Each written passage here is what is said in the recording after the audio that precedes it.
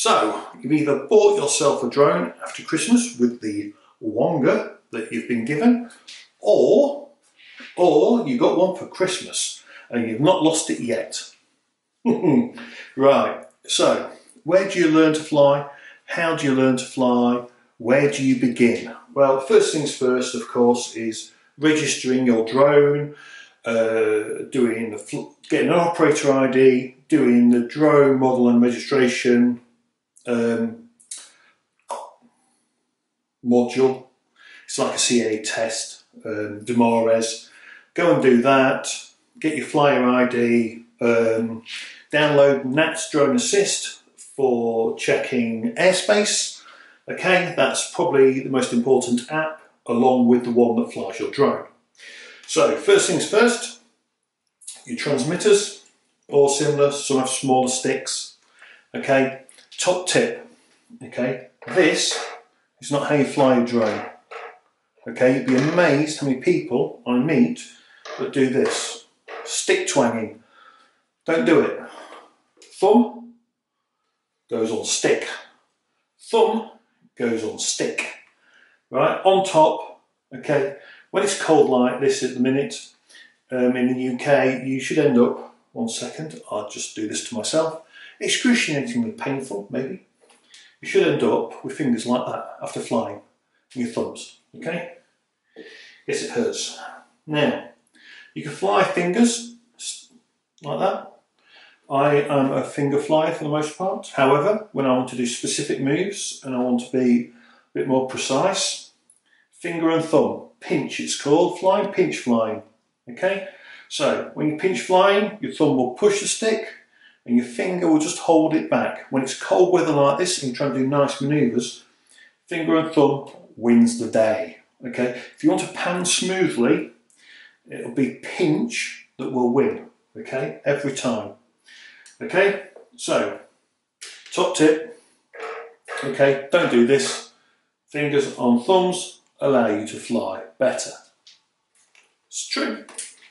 Right, now, learning to fly, the basic manoeuvres. You've got a drone, okay, and what you want to do is, you just want to go over here and you want to do call shit and fly and do this. That's not the way, okay? First things first, what you really could do with is one of these, or five of these should I say, or five of something like this. Okay, doesn't matter which one, but you want five of either of these. Okay, so kids football cones or soccer cones if you like. These little markers, these are brilliant. Okay, now you want five. Now think of this as a top-down view. Okay, so we're looking from above. Okay, and what we need is we need five, and we're going to lay them out the following way: one in the middle, one up to the right, one to the left, one here and one here. Pace it out. I recommend about 20 metres. So 20 metres, 20 metres, okay? And then that means that this one is in the middle at 10 metres, okay? And then you've got 10 up here as well. So it's 10 to there, it's 10 to here, okay? And you've got 20 metres over here. It doesn't have to be perfect. You're not looking for perfection. Okay, now remote, as a remote pilot, okay, you're going to stand here. Okay, remember this is a top-down view, as if you're looking from above, straight down. Okay, now you always, right, let me be clear on this, always take off with the camera away from you. So with DJI, okay, the reason is, right, so you take off, the camera points away from you. And the reason is because when you have a problem or you want to do something and you want to push the aircraft away from you, you're pushing away just forward and up means you can push it up and away, okay? If you have it facing you when you take off and you get an emergency or you get a brain moment, if you push it away, guess who it hits? You and anyone stood with you, okay? never take off with the camera towards you. When I'm doing my GVC flight tests with people, anyone with the camera facing them, I will ask why. You know, oh, it's normal, I do it all the time. It's not safe. Don't do it. Okay? Always away from you. And there's a reason why, especially if the compass flips on you, you'll know about it. Now, so, right, so what we've got then, we've got our five. You've just got your drone, so it's very, very simple. All you've got to do is take off, okay, where you are, and go and fly and hover above the middle one. That's it, okay? Now, the important bit is, if you've got trees and everything here, okay, remember this is a top-down view, what you need to do is get your drone high enough, okay, so you can see it in the blue sky behind, okay? If you can see it in the sky behind, it's easier to see what your aircraft's doing and everything else. If you've got a green uh, background, a lot of vegetation, and your aircraft's in the green stuff, your aircraft's harder to see, so don't do it. Okay, it might mean that you can't fly at eye level, so take it up to five meters or whatever you need to. Okay, so your height will depend upon your background. You don't have to do this at 400 feet, is what I'm saying. Okay, and it's not logical. So you're starting out. Camera's facing away from you at all times during the flight, so the camera will always be here. What you need to do is learn to drift the aircraft from here to any one of these. There is no particular order. It doesn't matter. Okay, so if you can send it to this one, that's great. Put it to this one, great. Can you send it over to here, to this one, from there? Go straight across. Okay, now after about five minutes of doing that, you're going to be bored. Okay, but we're not done yet, and you can't fly yet, no matter what you think. Okay, what you do, right, is you now rotate your aircraft 90 degrees. Okay, so hovering over the centre point now, you'll fly it out nose in, uh, nose away from you, sorry, not nose in, whatever you do. so no, and then you'll just rotate yourself 90 degrees, right? So the aircraft's now facing 90 degrees. You're now going to repeat the same things, okay? You're going to fly here to here, okay? You can fly over to this one, okay? But the camera must always point to the right, okay? In the hover, your aircraft's camera is always pointing that way. Okay, this is top-down view, remember? Okay, now, you're then going to turn it. No, I'm not going to turn it 90 degrees. We're going to turn it 180. We, want, we need to flip it back the other way. We now need to do it this way. Okay, there's a reason why. You'll now do all the same again, drifting about from, from point to point, to circle to circle. You know, you're not using your camera, this is all Mark 1 eyeball, okay? It's just to get you used to the drifting and seeing your aircraft in the opposite orientation, right? Because if you're used to it like this all the time, as soon as you get sideways, your brain's just going to fart, okay? And that's when you'll have a mishap. Oh, I hit a tree yeah, well, if you understand which way your aircraft's facing and how it behaves, it's better. This is why you have to spend time with the basics. Okay, the core basics allow you to build onto more better flying skills. Okay, so now let's say you've learnt all your orientations and you're happy, and you're also bored. I get it. Okay, you want to be over here doing the cool shit. Not time yet, I'm afraid. Now now we're going to learn nose in. Nose in is when the camera faces you. Again, you will take off with the nose with the camera away from you. This is top down view still. So you'll then come to the centre point. When you get to here, you will then rotate the aircraft so it's now pointing at you. Okay, now, top tip. Okay, top tip is do this when the wind is blowing over your shoulder. So you want the wind coming this way. Now this is especially true if you're flying in ATTI mode. If you've got a Phantom 4 like I have, or the old F550 like I have, or racing drones, for example, this is when you want to practice nose in, okay? You want the wind coming over your shoulder, because what it does is, the aircraft sits there in the air, it helps give it lift. This is how you learn to fly nose in model helicopter style. Okay, so model helicopters, they're a pain in the ass to learn, okay? They're also expensive you know, um, getting to this kind of stage, you've probably already bent it once with a big model helicopter. Um, so yeah, um, now nose in. You turn it around, it's facing you. don't flick it into ATTI mode yet. If you've got the option, don't do it. Okay, you're flying GPS. Best, and like I say, wind coming over your shoulders, it allows the aircraft to sit better. You're not going to get blown or pushed about as much. You now have to do, with the camera facing you, the same again. You should be able to go to any one of these points. Okay, doesn't matter which way you go, you go to this one first and then go back over to this one and come down to this one and go over to this one. Doesn't matter, okay? It's about learning what your aircraft looks like, how it behaves. It's about getting instilled into your brain, okay, how your aircraft behaves in certain movements. It's all about muscle memory, okay? And the only way to get the muscle memory is to do it. Okay, it's like it's like learning to ride a bike. If you fell off at the first instance, right, or you you miss something out, a shortcut, okay, you're never going to be a good cyclist. Okay, if you don't learn how to like do a little hop, body hop to get up at the curb, then you're going to get come off your bike. Okay, if you didn't look at a junction, you end up under a car. Okay, if you always look and do things correctly when riding a bike, should hopefully be able to ride a bike fairly well.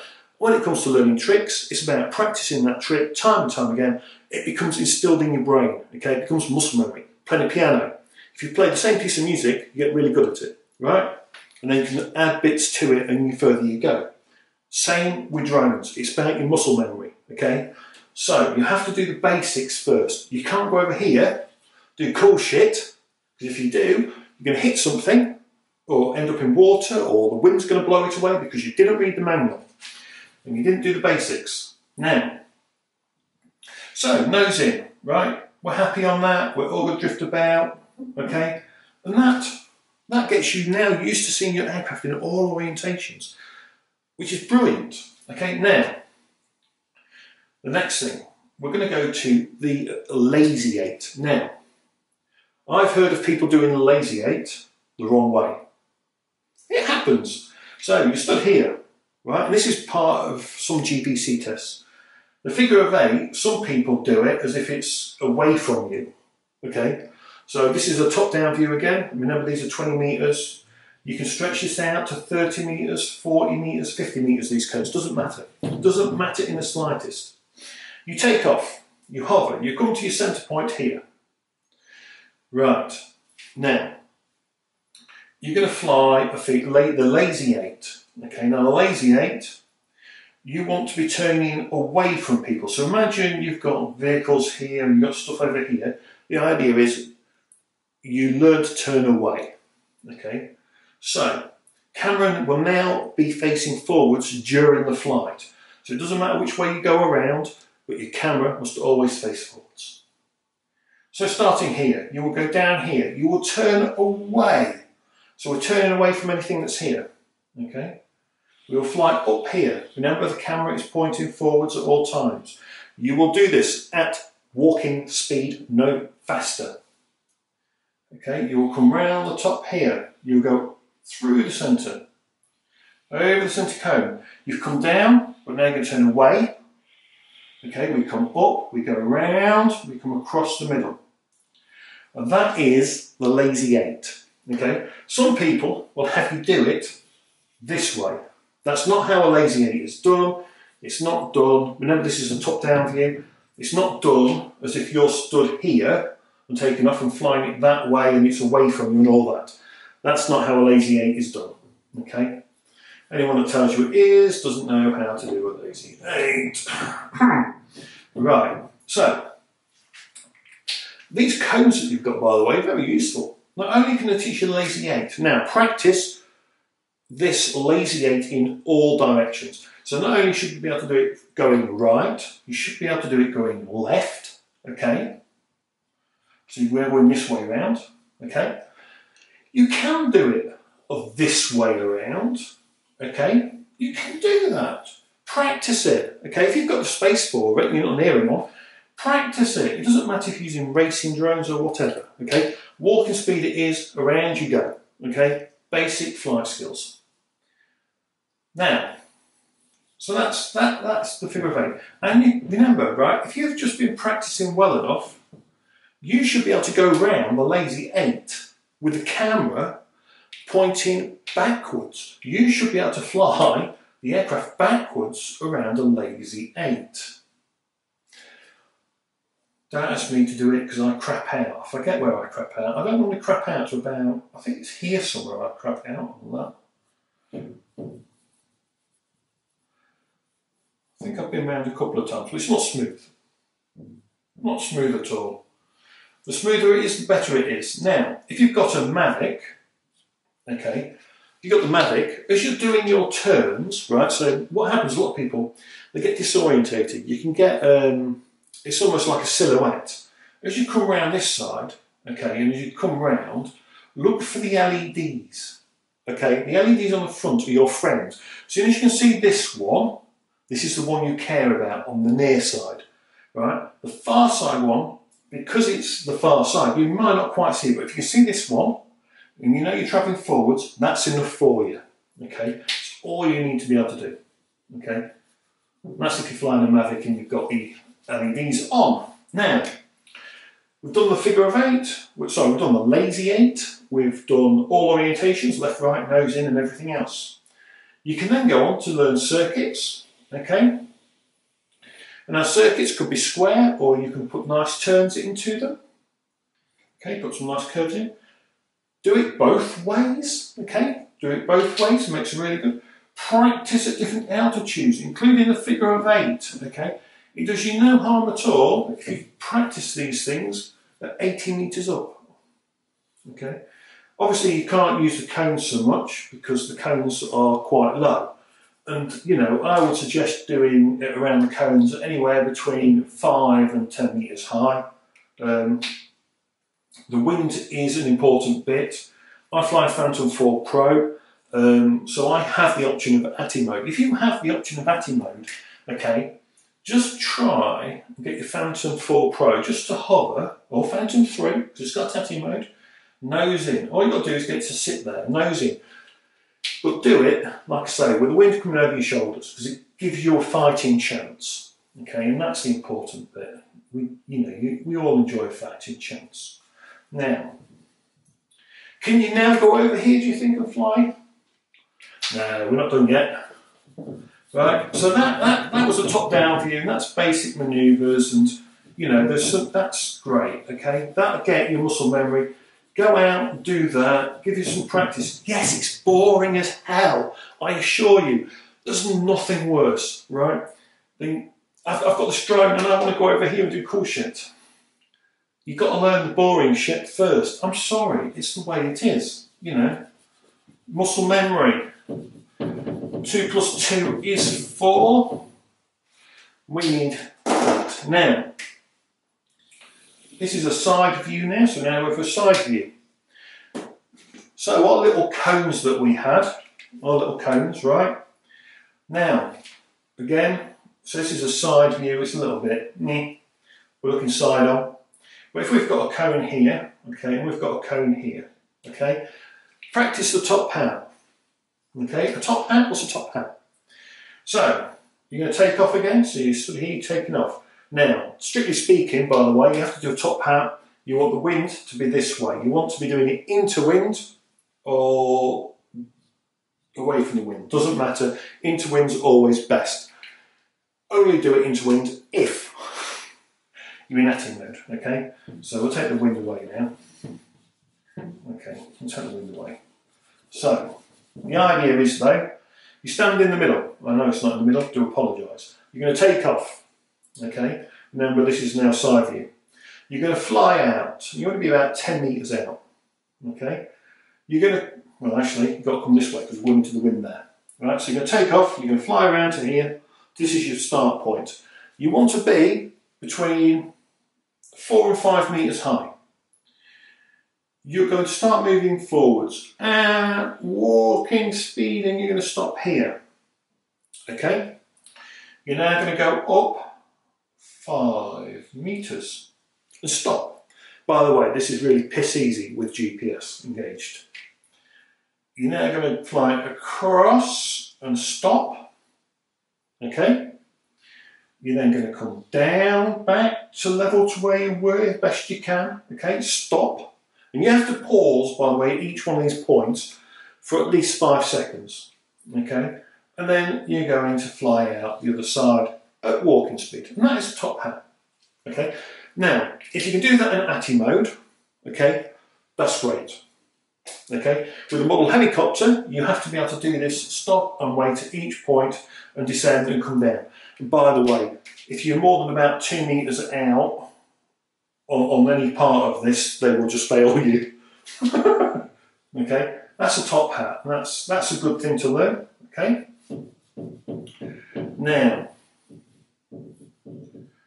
next one. So, next is the 45 degree climb out.